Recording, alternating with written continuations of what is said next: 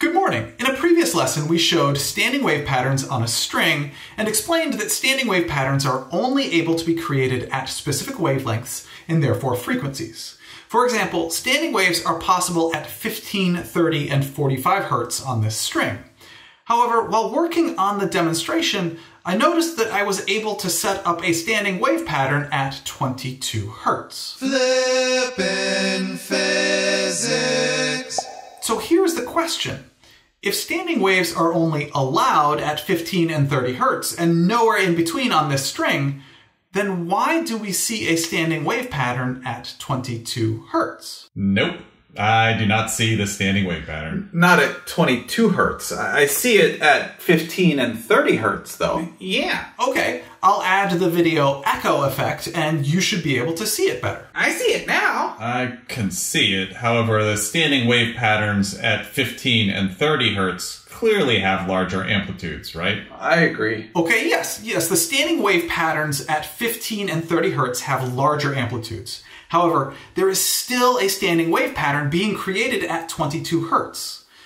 Let me add a zoomed in view of the 22 hertz example showing the left half of the string with both the slow motion and video echo effect as well. Now, I want to get back to the fact that a standing wave pattern exists here, even though we determined in a previous lesson that this was not possible. So I want to know, we said it is not possible, but there it is. Why? I don't. I don't know. You got me. Me either. Oh, come on. Y'all can do better than that. Well, why did we say it was not possible in the first place? Because there are nodes or locations of total destructive interference on either end of the string.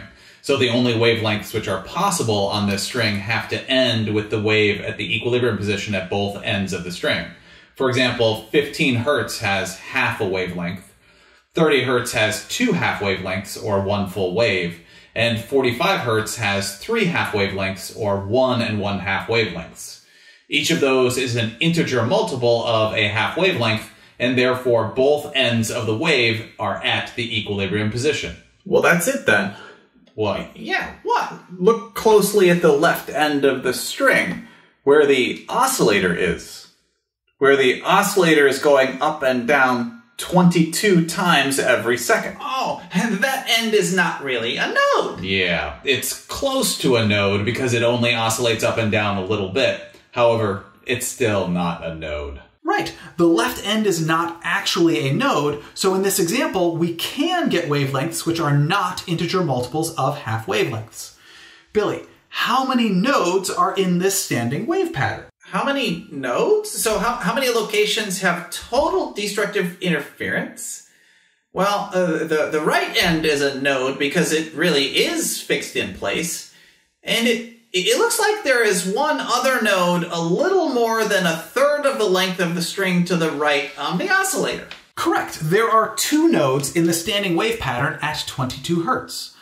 Also, we know the length of the string is 0.865 meters from a previous lesson, and I measured the distance from the oscillator to the node that is nearest to the oscillator to be 0.265 meters. That means we can determine the wavelength of the wave in this standing wave pattern. And once we know that, we can determine the speed of the wave.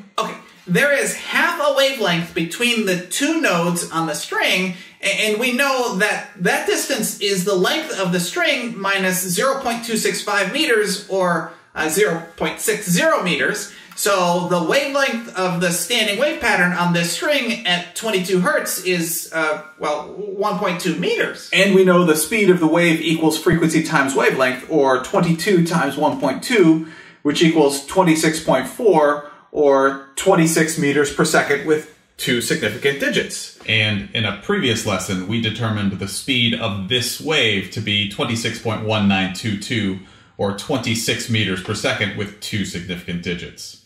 I would say that confirms our hypothesis of why this standing wave pattern can exist on this string. Cool. Yeah, cool. Nice. Absolutely. You figured it out and showed the wavelength and frequency result in a similar wave speed to a previous video. Very nice. Now, I do want to reiterate that the only reason this standing wave pattern was able to be set up on this string between the allowable half wavelengths is because one of the two ends of the string was not quite a node. This is not true of examples where the two ends have to be nodes, like a stringed instrument, or where the two ends have to be antinodes, like an open pipe instrument, or where one end has to be a node and the other end has to be an antinode, like a closed pipe instrument. Uh, what are those? Do not worry, Billy. We will get to those in future lessons. Thank you very much for learning with me today. I enjoyed learning with you. But I want to know it now. I know, Billy.